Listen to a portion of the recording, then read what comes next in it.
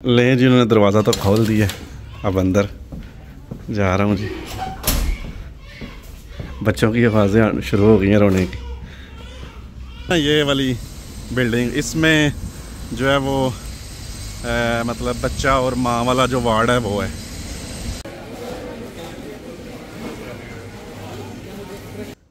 Check कर रहा हूँ जी क्या है इसमें पहले। दिखा दूँ आपको। बाहर देखें जी अंदर से।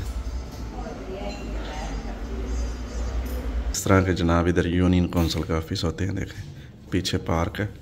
अस्सलाम वालेकुम, प्यारे गुड मॉर्निंग। क्या हाल चाल है? ठीक ठाक है?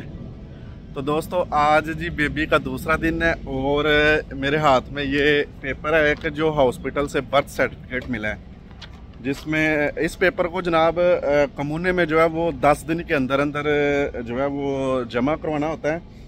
इसमें लिखा हुआ है कि मेल है फीमेल है, बच्चा पैदा मतलब ज़िंदा हुआ है या मतलब टिक मार्क्स लगाए हुए हैं कि मतलब किस हालत में पैदा हुआ है, कितने बजे हुआ है, और सारा कुछ ये लिखाया हुआ है। और ये जनाब दस दिन के अंदर जैसे मैंने आपको बताया कि जमा करवाना होता है और इस पर फिर जाके आगे के जो डॉक्यूमेंट्स हैं वो बनते हैं। कमूना दोस्तों, ऐसा ही होता है जैसे यूनियन कौंसल अपनी होती है ना, जिधर पता है बच्चा जब पैदा होता है यूनियन कौंसल में तो तारीख पैदाइश उधर जाके लिखवाते हैं, नाम लिखवाते हैं। तो आज जनाब, साथ इसका नाम लिखवाएँगे और बाकी जो कार्रवाई है, मेरा तो पहला एक्सपीरियंस है, देखते हैं और क्या होता है।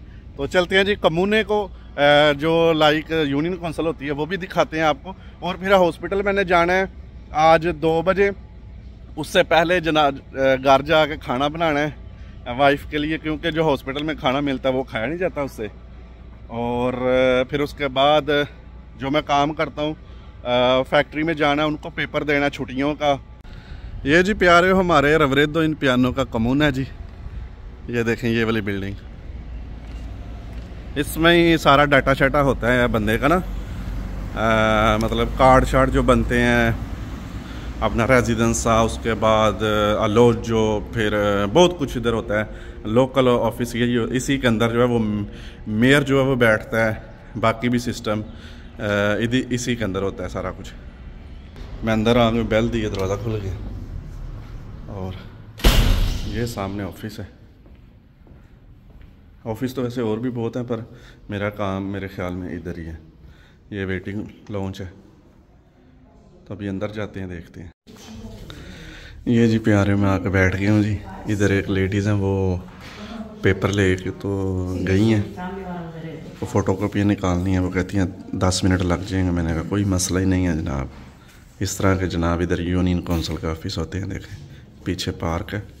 जी प्यारे हो मैं ये निकल आया हूँ जी कमूने से और बर्थ सर्टिफिकेट मिल गया है। उसके बाद, जनाब, ये एक उन्होंने शॉपर दिया है। इसमें एक बड़ा अच्छा सा मुझे पैम्पर सा लग रहा है। पैम्पर बोल रही थी वो ना। और उसके बाद एक दो और उन्होंने छोटा सा गिफ्ट दिया है बच्चे के लिए। ये पेपर है दोस्तों, इसमें जो बच्चे के पैसे नहीं मिलते गवर्नमेंट की तरफ़ से ये सामने उसका ऑफ़िस है। इधर मैं जाने लगा हूँ अब। और फिर किसी और वीडियो में आपको तफसील से बताऊँगा कि कितने पैसे मिलते हैं, क्या सिस्टम होता है। हाँ जी, प्यारे हो, ये कपड़े बेबी के और ये खाना है जी। चावल बनाए हैं मैंने सब्ज़ी वाले। तो ये ले के अभी जी मैं हॉस्पिटल की तरफ़ जाने लगा हूँ।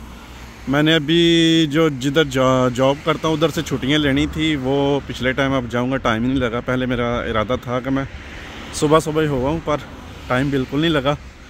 अभी जी हॉस्पिटल जाऊँगा और उधर से आपको हॉस्पिटल दिखाते हैं, बाकी बातें बाद में। लो जी प्यारे मैं हॉस्पिटल में आ गया हूँ। ये जी हॉस्पिटल है। और इसके साथ अब नया हॉस्पिटल भी बन रहा है साथ ही ना। ये है तो ये भी नया पर इसको थोड़ा बड़ा कर रहे हैं। और वो जो सामने आपको नज़र आ रही है ना ये वाली बिल्डिंग इसमें जो है वो आ, मतलब बच्चा और माँ वाला जो वार्ड है वो है। ये पुरदनों शहर का हॉस्पिटल है जी। ये सामने इंटरेस्ट है। इस साइड पे इमरजेंसी है, अगर किसी को इमरजेंसी में कोई आना है तो। ये जी मैं अंदर जाने लगा हूँ गेट से। इस तरह का जी कुछ। ये देखें।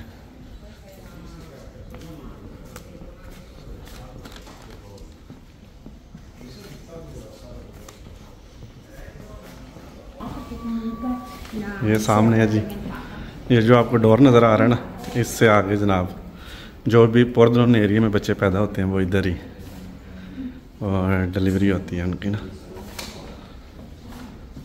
और वो जो सामने आपको नज़र आ रहा है, इसमें जब बच्चा पैदा होने वाला होता है तो आखिरी महीना जो है, वो इस वार्ड में ना डॉक्टर बैठते हैं, वो चेकअप वगैरह करते हैं, अल्ट्रासाउंड जो भी होता है। ये वेटिंग रूम है अब बीस मिनट हैं, अभी अंदर जाने में, क्योंकि अभी हुआ है एक बज के चालीस मिनट पे देखते हैं। बेल दे के इधर से बेल देनी है। अगर वो मान गए तो फिर जनाब जाके मिलेंगे अपने बेबी से। ले जी, उन्होंने दरवाज़ा तो खोल दिया। अब अंदर जा रहा हूँ जी। बच्चों की आवाज़ें शुरू हो गई हैं रोने की। देखें।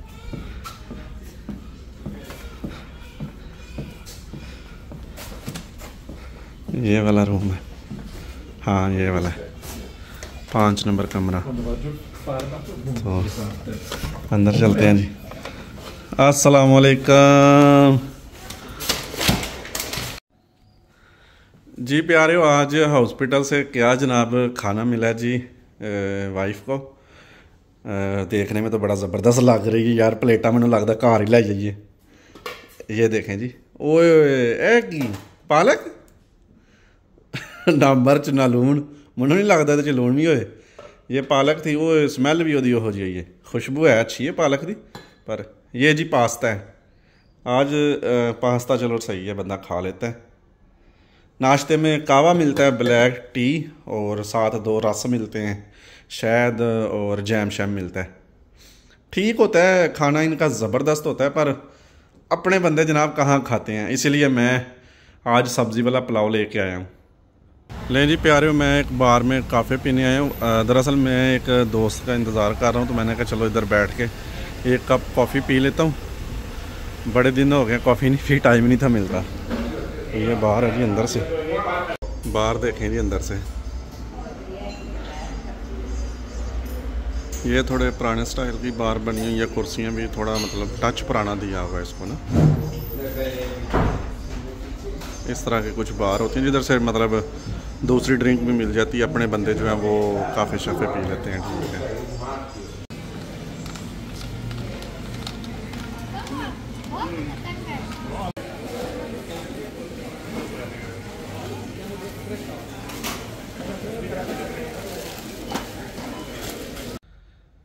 जी प्यारे, और शाम का जो है वो खाना आ गया शाम का खाना पूरे छः देते हैं। अभी देखें अंधेरा नहीं हुआ, अभी तकरीबन डेढ़ दो घंटे हैं।